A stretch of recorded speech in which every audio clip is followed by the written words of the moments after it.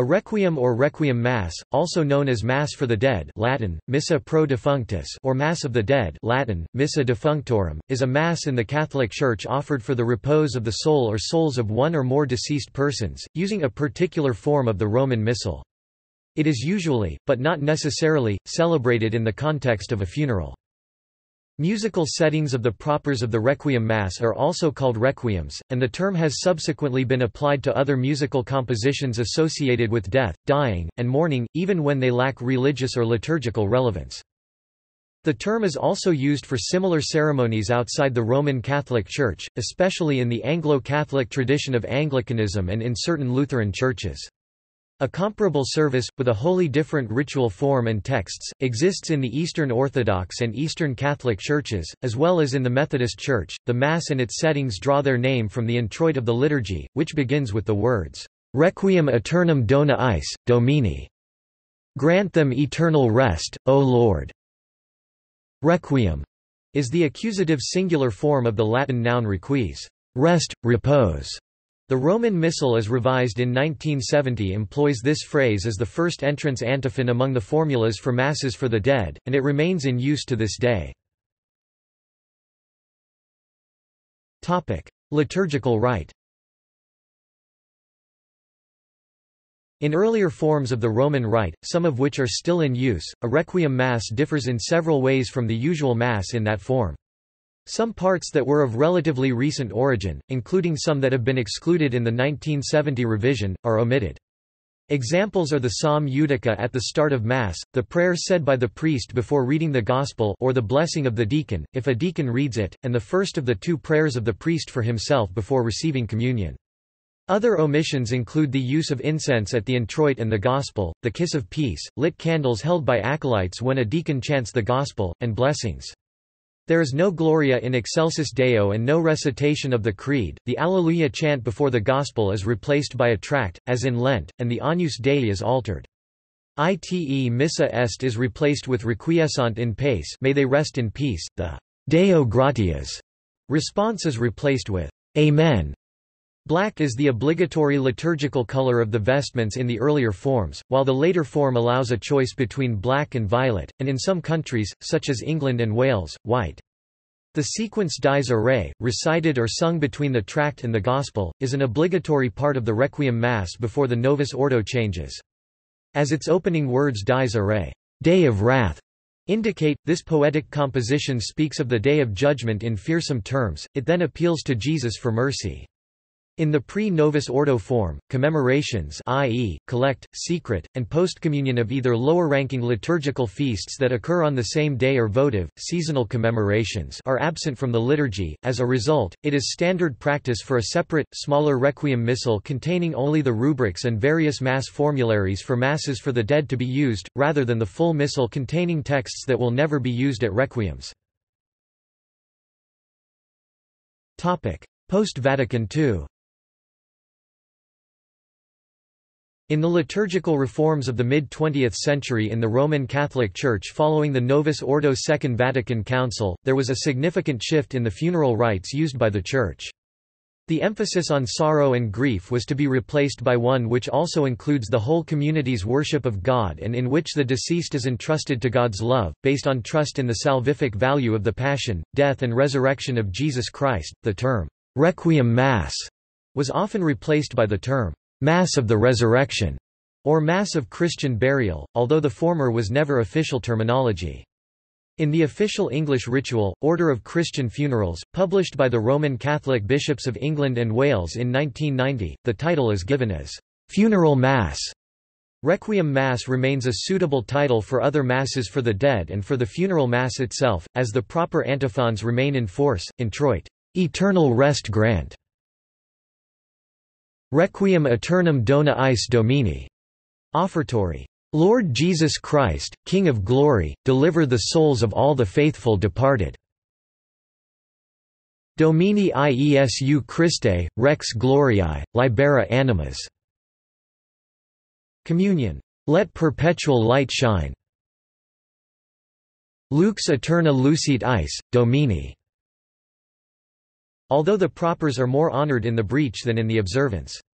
In line with this shift, the use of black vestments was made optional by the Second Vatican Council and had mostly disappeared by the late 20th century, at least in the United States, although their use is seeing a resurgence, with the preference of many being for white, the use of which is an indult for some countries, not part of the universal rubrics the color of joy associated with Easter, or purple, for a muted version of mourning.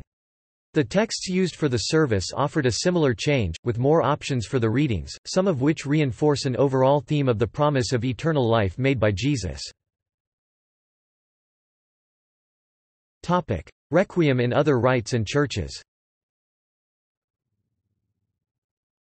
Requiem is also used to describe any sacred composition that sets to music religious texts which would be appropriate at a funeral, or to describe such compositions for liturgies other than the Roman Catholic Mass. Among the earliest examples of this type are the German settings composed in the 17th century by Heinrich Schütz and Michael Praetorius, whose works are Lutheran adaptations of the Roman Catholic Requiem, and which provided inspiration for the mighty German Requiem by Brahms. Such works include Greek Orthodox Church Parastas Russian Orthodox Church Panikhida Anglican English Requiem. Topic. Eastern Christian rites. In the Eastern Orthodox and Greek Catholic churches, the Requiem is the fullest form of memorial service Greek, Parastas, Slavonic, Opelo. The normal memorial service is a greatly abbreviated form of matins, but the requiem contains all of the psalms, readings, and hymns normally found in the all-night vigil which combines the canonical hours of Vespers, Matins and First Hour, providing a complete set of propers for the departed. The full requiem will last around three and a half hours. In this format it more clearly represents the original concept of parastas, which means literally, standing throughout the night. Often, there will be a divine liturgy celebrated the next morning with further propers for the departed. Because of their great length, a full requiem is rarely served.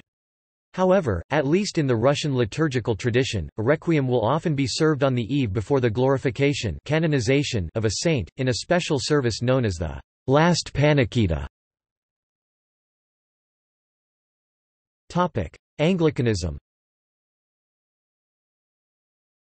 The Book of Common Prayer contained no Requiem Mass, but instead a service named, The Order for the Burial of the Dead. Since the liturgical reform movement, provision has been made for a Eucharist to be celebrated at a funeral in various BCPs used in the 33 provinces of the Anglican Communion.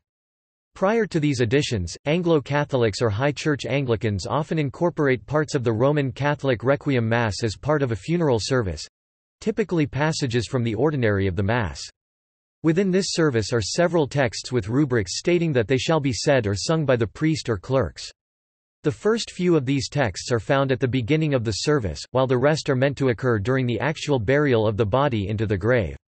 These texts are typically dividing into seven, and collectively known as funeral sentences. Composers who have set the Anglican burial service to music include William Croft, Thomas Morley, Thomas Tompkins, Orlando Gibbons and Henry Purcell. The text of these seven sentences, from the 1662 Book of Common Prayer, is as follows I am the resurrection and the life, saith the Lord, he that believeth in me, though he were dead, yet shall he live, and whosoever liveth and believeth in me shall never die. I know that my Redeemer liveth, and that he shall stand at the latter day upon the earth. And though after my skin worms destroy this body, yet in my flesh shall I see God, whom I shall see for myself, and mine eyes shall behold, and not another. We brought nothing into this world, and it is certain we can carry nothing out. The Lord gave, and the Lord hath taken away, blessed be the name of the Lord. Man that is born of a woman hath but a short time to live, and is full of misery. He cometh up, and is cut down, like a flower, he fleeth as it were a shadow, and never continueth in one stay. In the midst of life we are in death, of whom may we seek for succor, but of Thee, O Lord, who for our sins art justly displeased? Yet, O Lord God most holy, O Lord most mighty, O holy and most merciful Saviour, deliver us not into the bitter pains of eternal death.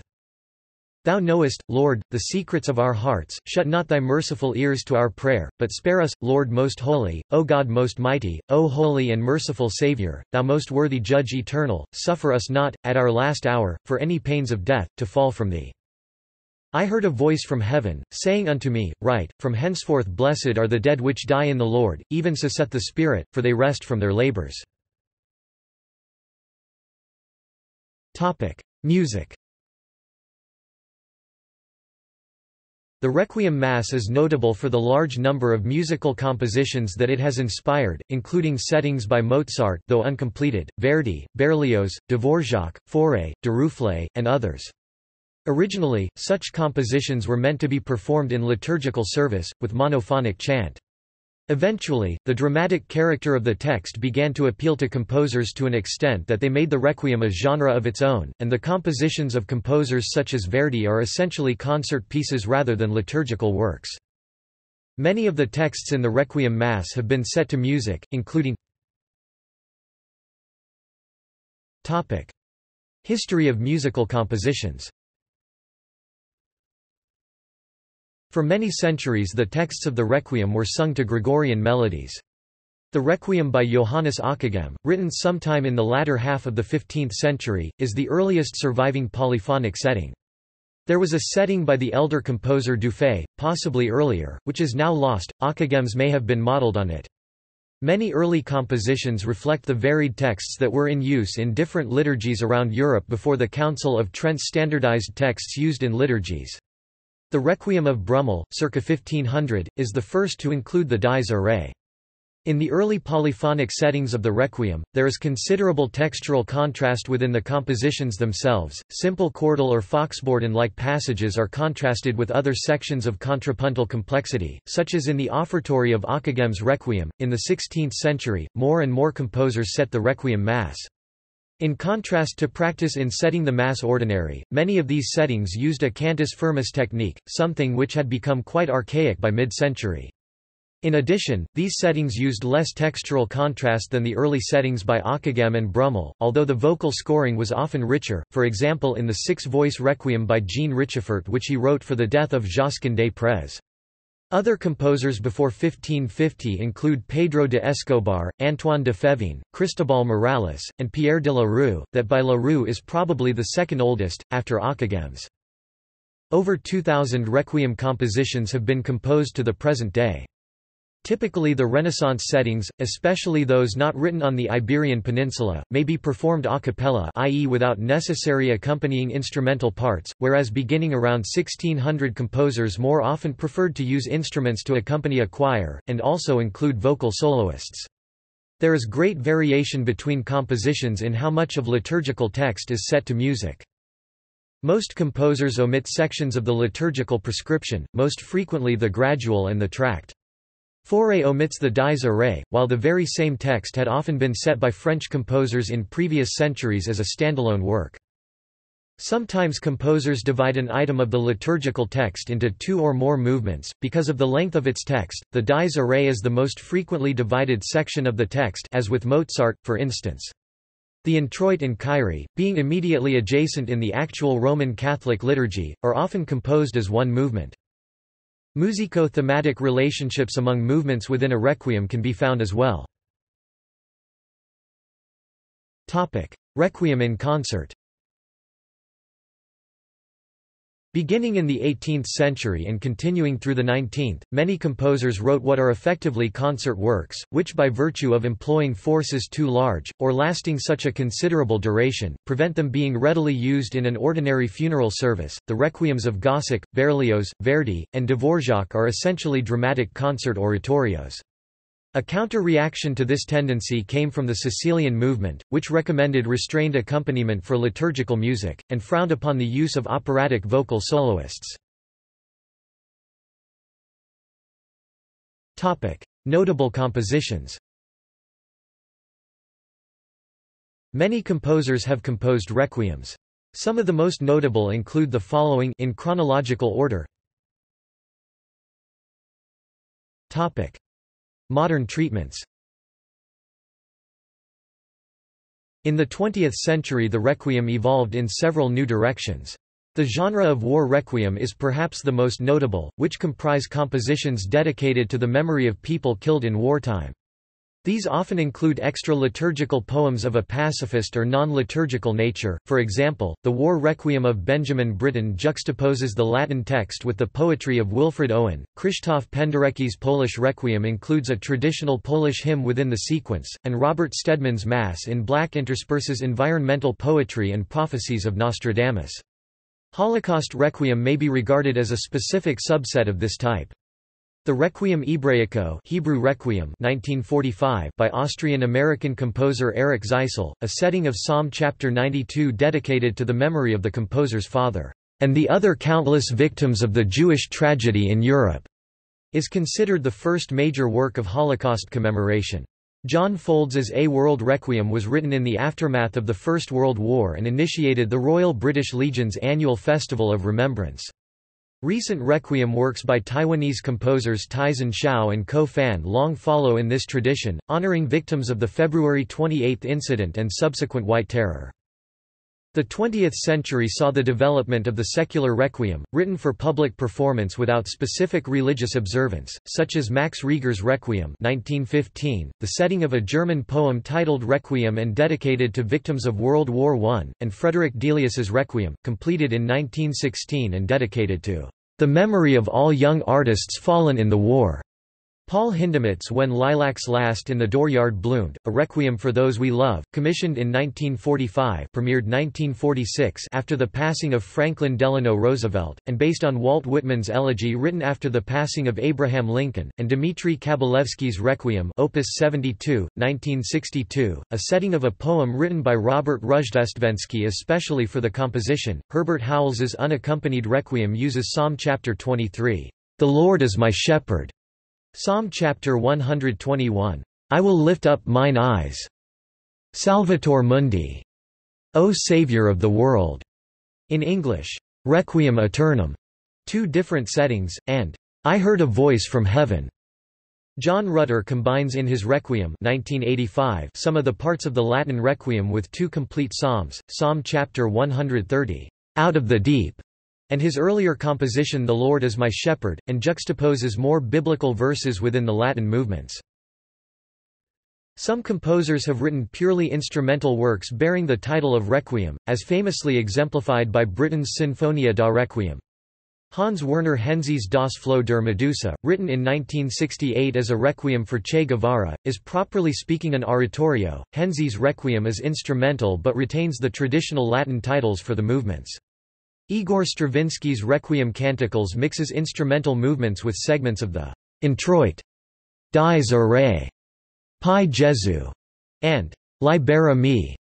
Christopher Wood's Requiem premiered in 2012 under the direction of Paul Brough at St. John's, Smith Square was inspired by the public reaction to the death of Queen Elizabeth the Queen Mother, and returns to a more traditional form, setting virtually the complete Latin text from the Liber Usualis.